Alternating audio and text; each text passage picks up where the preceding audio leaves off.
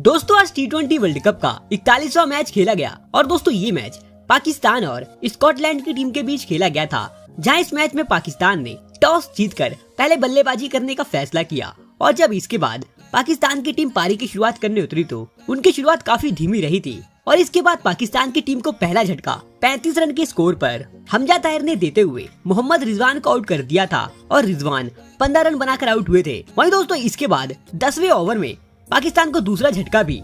Greece ने देते हुए फकर जमा को आउट कर दिया था और जमा आठ रन बनाकर आउट हुए थे। लेकिन दोस्तों, इसके बाद बाबर आज़म और मोहम्मद हाफिज ने इसके बाद स्कॉटलैंड के गेंदबाजों की जमकर क्लास लगाई, जहाँ दोस्तों, इस मैच में बाबर आज़म तो काफ़ी तगड़ी बैटिंग कर रहे थे।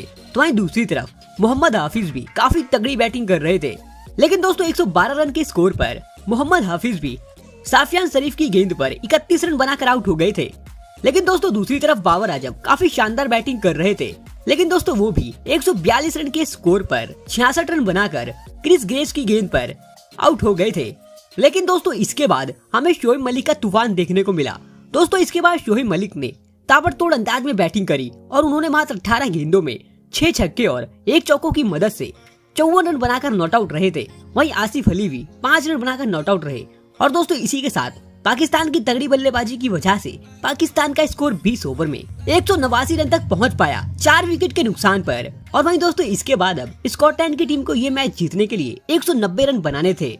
और वही जब दोस्तों, इसके बाद स्कॉटलैंड की टीम टारगेट का पीछा करने उतरी तो उनकी शुरुआत काफ़ी धीमी रही थी। और दोस्तों, इसके बाद जब पाकिस्तान की गेंदबाजों ने अपनी गेंदबाजी का कमाल दिखाया तब स्कॉटलैंड की टीम के एक के बाद एक विकेट गिरने लगे। और दोस्तों, स्कॉटलैंड की आधी टीम ही सत्तासी रन के स्कोर पर पवेलियन लौट चुकी थी।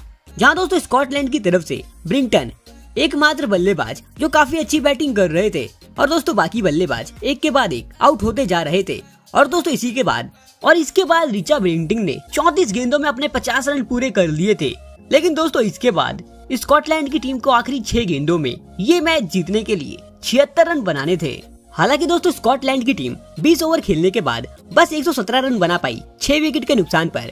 और दोस्तों, पाकिस्तान की टीम ये मैच बहत्तर रनों के बड़े अंतर से जीती। जहाँ दोस्तों, स्कॉटलैंड की तरफ़ से रिचा ब्रिंगटेन चौवन रन बनाकर नॉट आउट रहे थे तो वहीं पाकिस्तान की तरफ़ से सद्दाब खान ने दो विकेट झटके। वहीं शाइन अफरीदी और हर को भी एक एक विकेट हाथ लगी थी।